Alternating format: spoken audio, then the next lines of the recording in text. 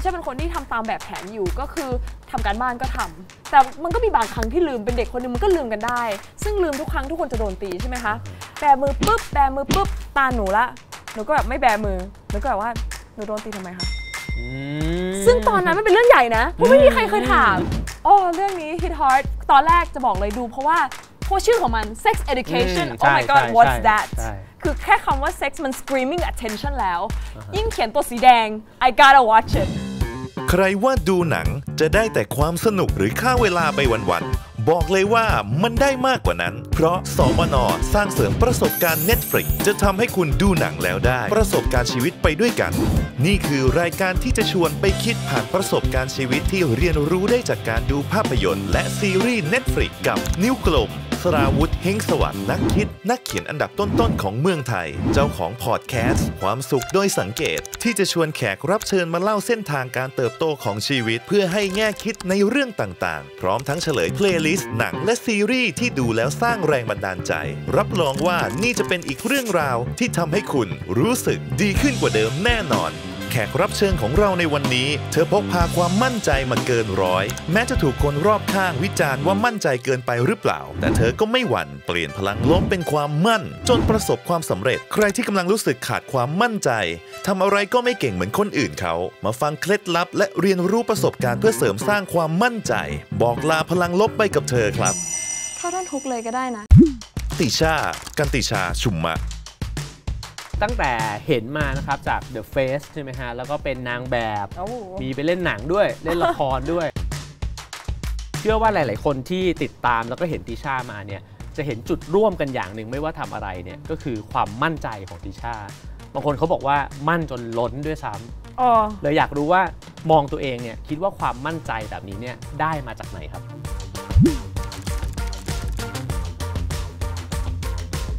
ได้มาจากไหนคะอืมดิฉันย้ายไปสวีเดนครั้งแรกตอนอายุ7ขวบ ก็ค่อนข้างเด็กนะคะ แล้วพอไปอยู่สวีเดนเนี่ยเราสังเกตว่าเด็กทุกคนเนี่ยอืมกล้าที่จะพูดกับครูอืมกล้าที่จะพูดความรู้สึกที่มันไม่ได้ดูแบบก้าวร้าว เราโตมากับ mindset ที่แบบว่า it's okay to ask it's okay ที่แบบ ที่เราไม่ได้เห็นร่วมด้วยกันแบบว่าเธอคิดอย่างนั้นแต่ฉันไม่คิดอย่างนั้นนะ แล้วโดยไม่ต้องมาทะเลาะกันด้วยซ้ำแบบอ๋อเราแค่คิดต่างกันอะ คือพอฟังเรื่องของวัยรุ่นก็เลยทำให้คิดถึงซีรีส์นะฮะ เรื่อง อ่า Sex Education อ๋อเราเราดิชาเคยดูใช่ไหมฮะ เคยดูค่ะ คิดว่าตัวเองเนี่ยเหมือนตัวละครตัวไหนในเรื่องไหมครับ ที่เหมือนที่สุดอืม เท่าที่เลือกมาในเรื่องก็คือเป็นเมฟค่ะ Told you. อืม เพราะเขาครัว I think เขาครัวเนอะ ไม่คือถ้าเกิดจะหนูจะเป็นเหมือนแบบพระเอกในเรื่องก็ไม่ใช่อะเขาก็อ่าเดินดีเกินไป อ่าฮะ เมฟในความรู้สึกของฉันเนี่ยเป็นคนที่รู้สึกว่ามั่นใจในตัวเอง แล้วเขาก็แบบมีความแบบไม่ได้จ้าคนแบบเออเข้าใจทุกสิ่งทุกอย่าง พอประมาณแบบว่าโอเค it's okay ไม่ได้เป็นมนุษย์ที่ perfect ถ้าเกิดเราเห็นน่ะเขาก็มีทำผิดพลาดบ้างทำไม่ถูกบ้าง อืม มีโมเมนต์ที่เขาเหมือนกับก็สับสนบ้าง คือดูเป็นมนุษย์คนหนึ่งที่ ที่ที่ในในในเด็กด้วยกันอาจจะดูคูลหน่อย จะดูแบบเออรู้เรื่องแต่ว่าที่จริงมันก็เป็นเด็กคนหนึ่งเหมือนกันนะคะตอนที่ดูเรื่องเนี้ยค่ะทำไมถึงชอบเรื่องนี้ครับอ๋อเรื่องนี้ hit hard ตอนแรกจะบอกเลยดูเพราะว่าเพราะชื่อของมัน sex education อืม oh my ใช่ god ใช่ what's ใช่ that ใช่คือแค่คำว่า sex มัน screaming attention แล้ว ยิ่งเขียนตัวสีแดง I gotta watch it you know ก็คืออยากดูด้วย สนใจเรื่องนี้ว่ามันจะ present มาเป็นยังไง แต่พอเขาทำมาเป็น story ที่มันน่ารักที่มันที่มันเข้าถึงแล้วทุกคนมี character แล้วมีบทบาทแตกต่างกันแล้วรู้สึกว่าเฮ้ยมันน่าดูอืมแล้วมันมันน่าดูแบบค่อยๆ digest ได้แบบอืมอืมกลืนแล้วมันไม่ไม่ขมคอเกินไปไม่ใหญ่เกินไป รู้สึกว่าหนังนี้ดีมากเลยค่ะ สอนอะไรได้เยอะมาก คืออย่างตัวละครเมฟที่พูดถึงเนี่ยฮะค่ะคือถ้าเราดูเรารู้สึกว่าเออตอนแรกเรารู้สึกว่าเฮ้ยเขาห้าวมากแล้วก็อืมแต่พอดูไปเรื่อยๆอะ เฮ้ยมันก็เห็นว่าเขาก็มีความเปราะบางเนาะใช่เหมือนอาจจะเรียกได้ว่าแข็งนอกอ่อนในอะอ่าใช่ไหมแบบนั้นค่ะติช่าเป็นแบบนั้นด้วยไหมฮะมีความเป็นแบบนั้นด้วย เพราะว่า เราหลาย ๆ ครั้งเราก็จะเห็นคนในในหลายรูปแบบเนาะแต่เมื่อเขาจะออกมาแบบอุ้ยดูสตรองอ่าอ่าดูแบบว่าทุกอย่างคูลไปหมดเลย แต่ว่าเราจะเห็นว่าลึก ๆ ข้างในเนี่ยมันก็มีความแฟรกจายความอ่อนด้วย ซึ่งหนูว่าหลาย ๆ คนใน society เป็นอย่างนั้น รวมถึงตัวใช่เองด้วยอืม แต่ว่าไม่ได้เซนซิทีฟกับทุกเรื่องนะคะ แต่บางเรื่องมันจะเป็นเรื่องที่เราแฟกใจมากอะ่ะ เราจะมีความแบบเข้าอกเข้าใจหรือเซนซิทีฟด้วย เพราะฉะนั้นเนี่ย การที่เราสร้างเกราะมาบางทีมันแค่จะ protect ตัวเอง มันแบบเป็น defense mechanism อืมมันเลยเป็นเสน่ห์ของ character m a v เพราะว่ามันมัน reflect ในหลาย ๆ คนที่เป็นอยู่ทุกวันนี้ มันไม่ใช่ทุกคนที่แบบอาจจะดู strong แล้วคิดว่า โอ้ยต้อง strong แต่หัวจะหลดเท้า ไม่มีอะไรที่เปราะบางเลย มันก็มีคนที่สร้างมันขึ้นมา เพื่อที่เขาจะแบบว่า ฉันก็อยากจะดูสตรองนะ แต่ที่ใจข้างในเนี่ยมันก็เป็นคนคนหนึ่งแหละอืมมันก็มีโมเมนต์เหมือนกันว่ามันก็ต้องอ่อนบ้าง ต้องเจ็บปวดบ้าง ต้องอะไรหลาย ๆ อย่าง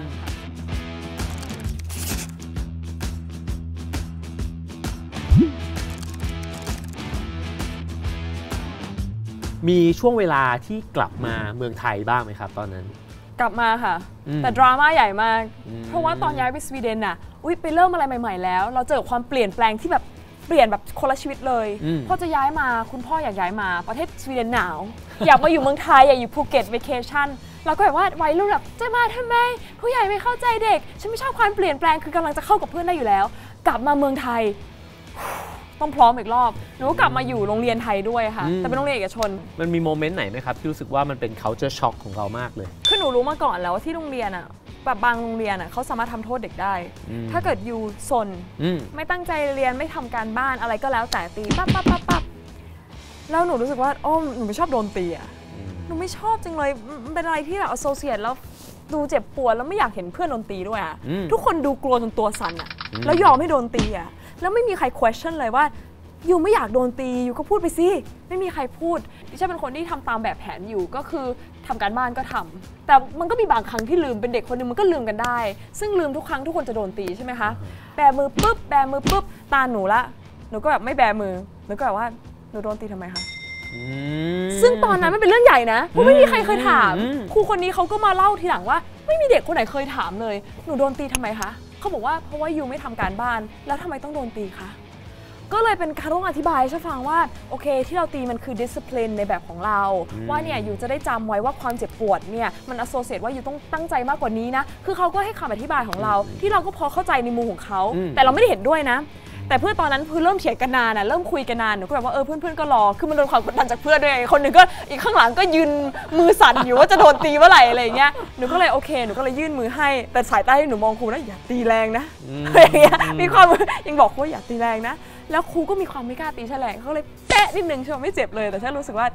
หลังจากนั้นนะฉันไม่โดนตีอีกเลยอืมแล้วรู้สึกว่าพอหนูมาคุยกับคุยกับครูคนเนี้ยซึ่งเขาเป็นครูที่ดีนะอืมพอเรามาคุยกันอะ เขาก็มาเล่าให้หนูฟังมันเหมือนกับเราได้มุมมองของกันและกัน หนูก็มีความเข้าใจว่าโอเค this this is culture it's been happen for years and years โอเคเราอาจจะเข้าใจว่าเออเขาทำอย่างนี้มา เพราะอะไรเหมือนกันอืมอืมและเขาก็ได้มาเห็นมุมของเด็กนักเรียนด้วยอืมแล้วหลังจากนั้นนะครูก็ทำโทษเด็กน้อยลงอ่าหนูก็รู้สึกว่าเฮ้ยหนูก็เปลี่ยนช่วยชีวิตเด็กนักเรียนได้ตั้งหลายคน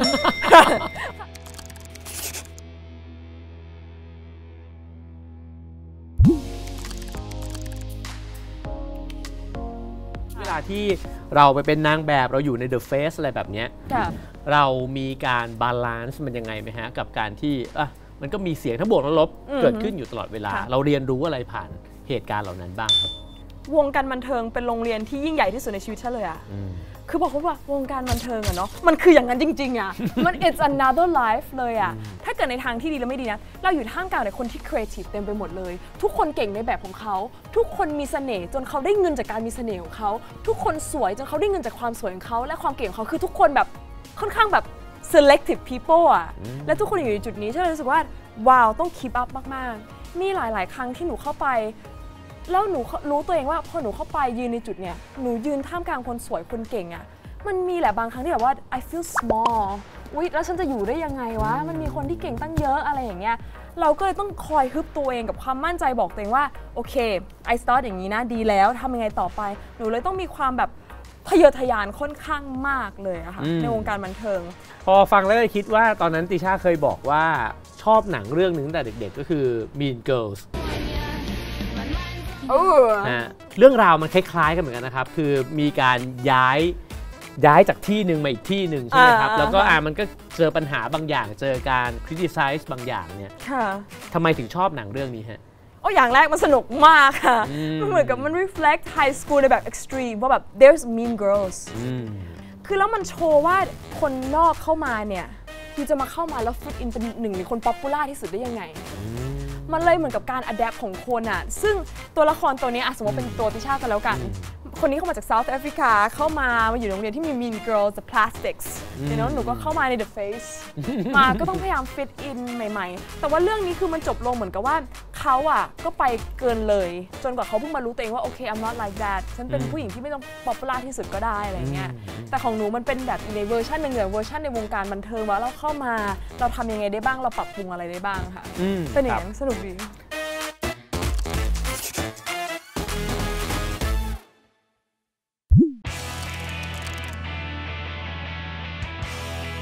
สิ่งหนึ่งที่สังเกตเห็นก็คือว่าติช่าเป็นคนชอบดูหนังกับซีรีส์เหมือนกันนะฮะ ชอบมากเลยค่ะว่าชอบดูแอนิเมะด้วย ชอบดูค่ะ เรื่องอะไรครับ เรื่องนารูโตะ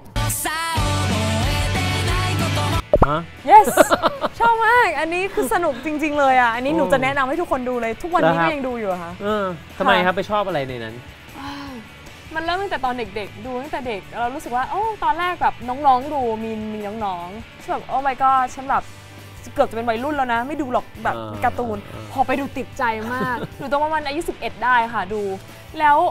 ชอบเพราะเป็นเรื่องราวที่สนุก แล้วมันเกี่ยวกับอะไรที่เราไม่รู้จักแบบนินจาอะไรอย่างเงี้ยแล้วพอเข้าไปดูอะมันมีอะไรที่สอนเราเยอะมาก เช่นตัวนารูโตะเองตัวเมนของเรื่องอะอืมดูไม่เก่งอะไรสักเรื่องเลยตอนแรกเขาดูเป็นว่าเฮ้ยเขาเป็นเมน ซึ่งเขาทำอะไรสอบก็ตกเป็นนินจาก็ไม่เก่งคือเป็น underdog สุด ๆ เลยอืมเป็นเราก็ เอ่อเอ่อไม่มีไม่มีครอบครัวด้วย ดูเป็นคน lonely ดูแบบว่า this guy อะแต่เขามี energy ที่เยอะมาก แล้วเหมือนกับเขาก็พยายามเรื่อยๆเรื่อยๆ คือเราก็เลยเป็นกำลังใจให้เขาอืมเพราะอย่างที่ฉันบอกเนี่ยฉันชอบคนเก่งอืมแต่ว่าพอมันเป็นคนที่แบบว่ามาจากล่างๆอะแล้วอืมแล้วบิวตัวเองพาตัวเองไปอีกยิ่งจุดหนึ่งเอาได้ใจช่วยเข้าไปยิ่งใหญ่เอาใจช่วยเลย เพราะฉะนั้นเนี่ยอืมนารูโตะเป็นอะไรที่แบบว่ามันเป็นกำลังใจให้เด็กกับหลายคนน่ะก็เลยคิดว่าพอดูการ์ตูนเรื่องนี้เนี่ยไม่ใช่แค่ตัวฉันเองอะแต่หลายคนจะรู้สึกฮึบขึ้นมาแบบโอ้เฮ้ยนารูโตะทำได้ฉันต้องทำได้สิ เขายังเคยสอบตกเขายังทำไม่ดีเขายังเป็นคนที่ทุกคนหัวเราะ ทุกคนแกล้งอะแต่วันหนึ่งเขาสามารถพิสูจน์ตัวเองได้ เพราะเขามี mindset ที่ดีมาก เขารู้ว่าโกคืออะไร สักวันหนึ่งฉันจะเป็นโฮคังเงะมันก็รู้สึกเหมือนกับว่า yes go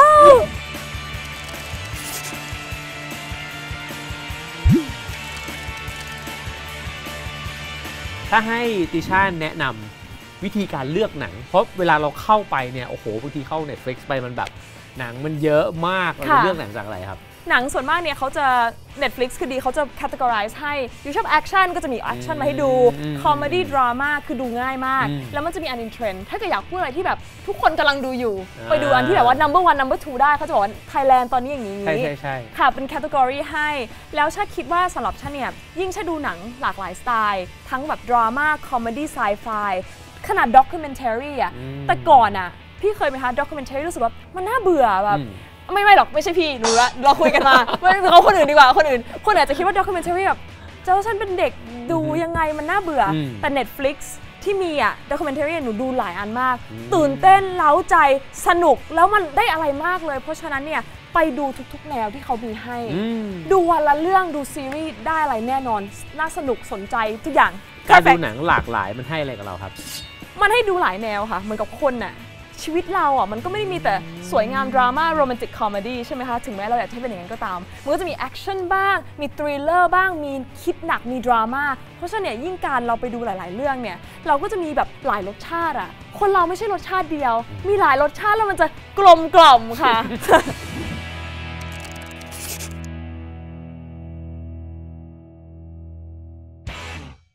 วันนี้สนุกมากเลยนะครับ คุยกับติช่านะครับ สิ่งหนึ่งที่ผมสัมผัสได้เนี่ยก็คือว่า พลังความมั่นใจของเธอนะครับ ก็ทำให้คนที่อยู่ใกล้ๆเนี่ยได้รับพลังงานดีๆ แบบนั้นไปด้วยนะครับ อย่างหนึ่งที่ติช่าพูดและผมชอบมากก็คือบอกว่าความมั่นใจในตัวเราเนี่ยมันก็เหมือนกล้ามเนื้อนะครับ จริงๆแล้วมันสามารถฝึกกันได้ สามารถทำให้มันแข็งแรงขึ้นได้นะครับ ผมเองก็จะกลับไปฝึกให้มีมากขึ้นเช่นกัน วันนี้ก็ต้องขอขอบคุณติชาที่มาแชร์เคล็ดลับ และประสบการณ์สนุกๆให้เราได้ฟังกัน ได้ทั้งแง่คิดในการใช้ชีวิต และการเลือกดูหนังไปเพียบเลยนะครับ เนี่ย หรือถ้าอยากจะเลือกดูหนังตามติชา เพื่อให้ชีวิตกลมกล่อมมากกว่าเดิม ก็เลือกดูได้จากโพยนี้เลย